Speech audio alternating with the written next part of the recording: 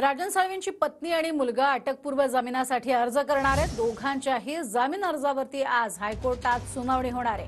बेहिशेबी मालमत्तेप्रकरणी राजन साळवींची पत्नी अनुजा आणि मुलगा शुभमवरती गुन्हा दाखल आहे. रायगड एसीबीनं केलेल्या तक्रारीनंतर गुन्हा दाखल झालाय. रत्नागिरी सत्र न्यायालयानं त्यांचा अटकपूर्व जामीन अर्ज फेटाळला होता.